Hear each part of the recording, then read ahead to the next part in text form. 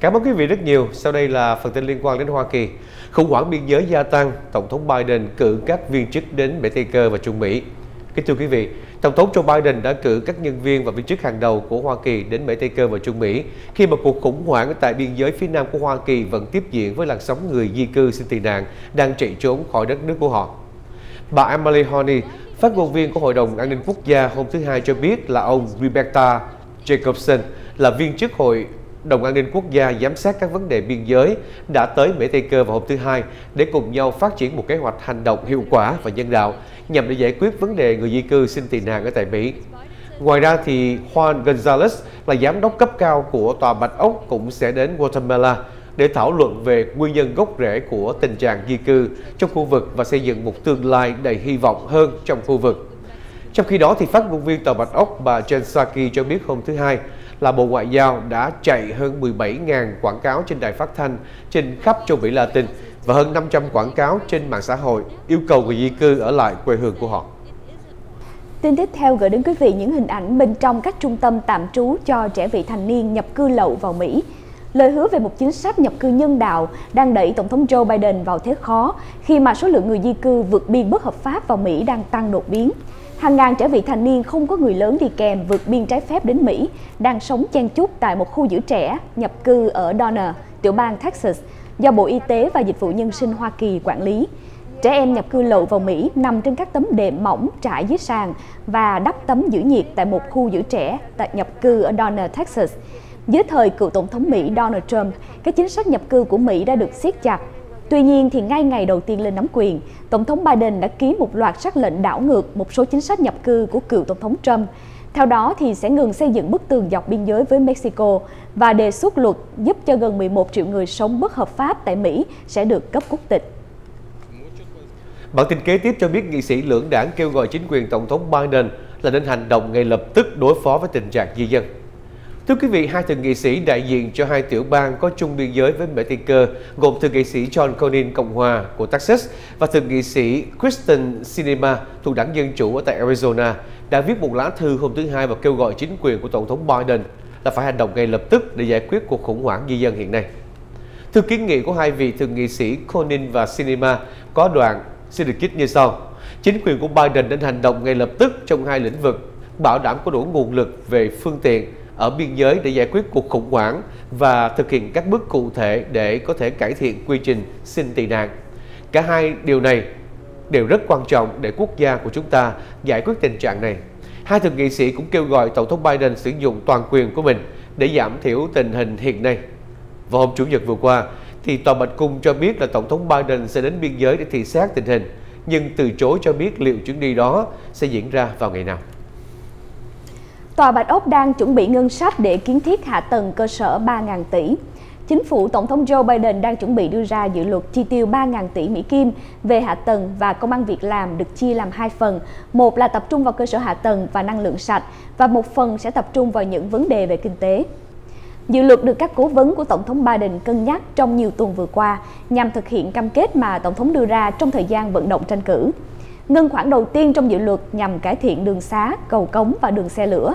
Trong đó cũng bao gồm 400 tỷ Mỹ Kim đầu tư vào việc chống biến đổi khí hậu, 200 tỷ Mỹ Kim cho hạ tầng gia cư và 100 tỷ Mỹ Kim cho nhà ở thu nhập thấp, cùng với 60 tỷ Mỹ Kim cho hệ thống giao thông.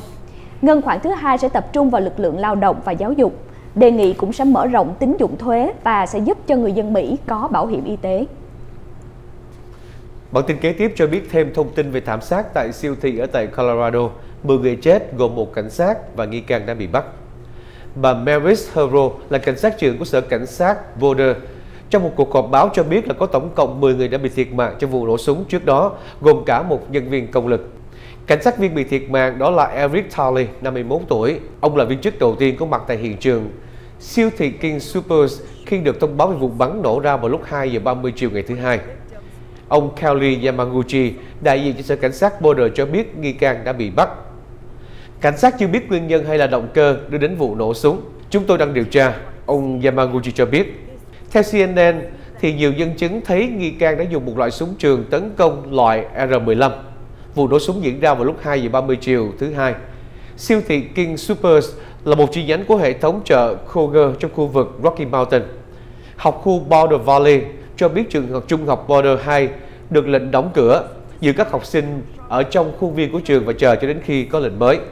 Bà Jen Psaki là phát ngôn viên Tòa Bạch Cung cho biết qua Twitter, Tổng thống Joe Biden được báo cáo đầy đủ và tiếp tục theo dõi sát sao các diễn tiến sắp tới.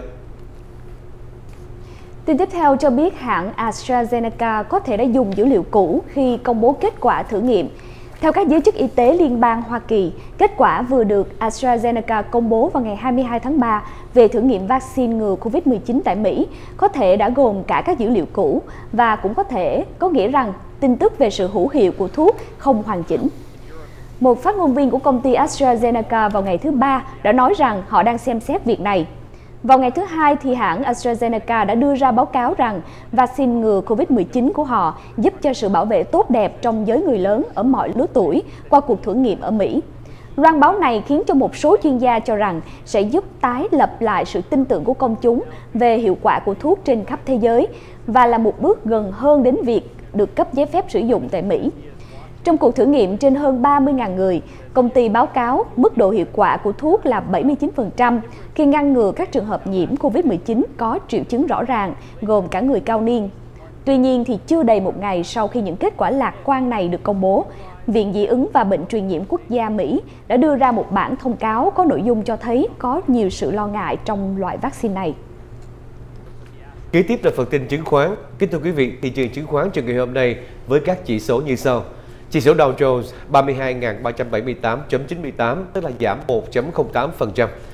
Chỉ số Nasdaq ngày hôm nay là 13.222.84 giảm 1.18%. Chỉ số S&P 500 ngày hôm nay 3.903.96 tức là giảm 0.93%. Phân lợi công cổ phiếu 15 ngày hôm nay là 1.6380 tức là giảm 2.73% thưa quý vị. Giá dầu thô của ngày hôm nay là 57 đô la 55 sen một thùng dầu thô, đã giảm 6.51%. Giá vàng tại Hoa Kỳ trong ngày là 1.762 đô la 20 sen một ounce vàng, đã giảm 0.68%. Tại Việt Nam, giá vàng mua vào trong ngày là 55 triệu 200 ngàn đồng một lượng, bán ra là 55 triệu 600 ngàn đồng một lượng. Cũng tại Việt Nam, 1 đô la đổi được 23.170 đồng tiền Việt Nam. Một lần nữa, xin kính mời quý vị tiếp tục giữ làn sóng sau một vài thông tin thương mại. Chúng tôi sẽ quay trở lại để gửi đến quý vị bản tin Việt Nam.